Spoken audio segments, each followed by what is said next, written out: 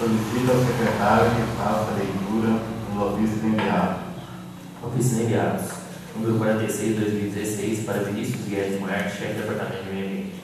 Diante das constatações da poluição da água do nosso município, devido a construções regulares sendo que muitas dessas não respeitam nem o limite de 30 metros diante dos cursos d'água, jogando diretamente dejetos destes fossas construídas inadequadamente, assim como o funcionamento do comércio sem a fiscalização daqui adequada, além de outras situações fora das adequações necessárias que contribuem para a poluição das cachoeiras e mais agravante ainda da água que se consome.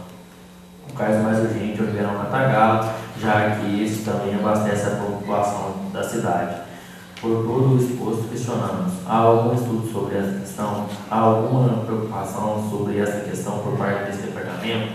Existe alguma coisa sendo feita para resolver urgentemente esse problema?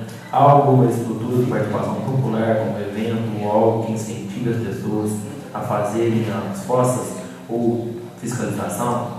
É de suma importância que nos é, seja informado se a prefeitura está atenta a esse assunto tão grave e urgente que assola nossa cidade.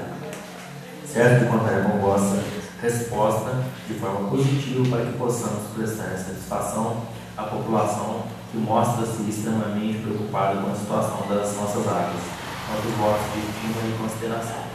Número 49 de 2016, para Maria Maciel de Souza, Prefeito Municipal. Caminho a Vossa Excelência o projeto de lei número 14 de 2016, denomina, denomina o vereador público e o requerimento número 15 de 2016, de autoria do vereador Antônio Rezende, ambos discutidos e aprovados em extraordinária atrasada em 21 de junho